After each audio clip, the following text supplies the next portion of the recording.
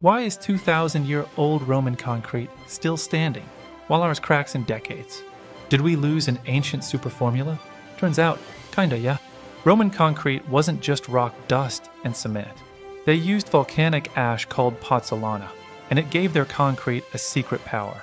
When Roman concrete cracks, minerals inside can grow back, sealing fractures like a self healing potion. Modern concrete, strong at first, but long term, not so much. It's designed for speed, not centuries. Roman seawalls actually get stronger underwater.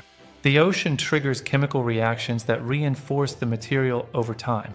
Scientists recently found lime clasts, tiny white chunks that heat up with water and fill cracks like natural glue. Now engineers are bringing the recipe back, hoping to build things that last millennia, not just mortgages. So, yes, we did forget the ancient superconcrete, but now we might be rediscovering it. Want to know more? Find out the full video on SciCurious YouTube channel.